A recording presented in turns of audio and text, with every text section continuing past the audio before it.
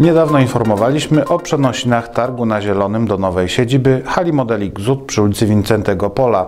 Niestety wraz z nadejściem pandemii i narzuconymi ograniczeniami kultowy targ musiał na pewien czas zawiesić swoją stacjonarną działalność.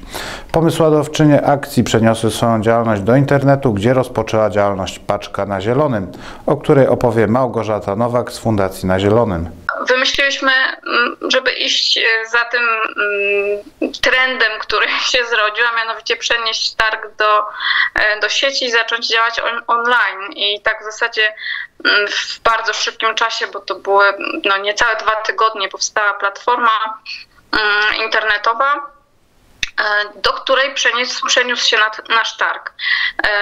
Platforma nazywa się Paczka na Zielonym. E, są tam dostępni nasi producenci, oferta naszych producentów. E, jest ich w tej chwili 18. I do tej pory zdążyły się odbyć dwie edycje tej naszej paczki.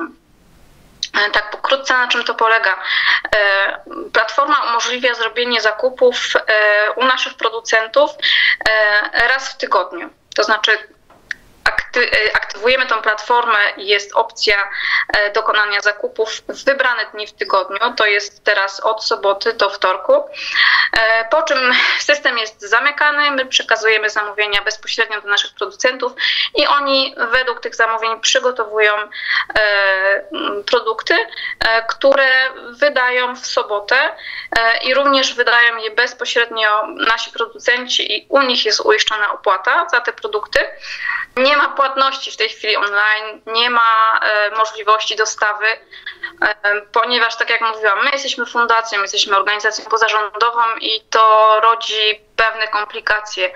Planujemy rozwijać naszą paczkę również w tym kierunku, ale na tym etapie no, jest to niemożliwe. Nie udało się jeszcze tego wdrożyć. Często było tak, że jak przychodziło na targ trochę później niż samego rana, to po prostu części produktów już nie było. Albo trzeba było stać w długich kolejkach i się okazywało, że no niestety tego, co nas interesuje, już nie ma.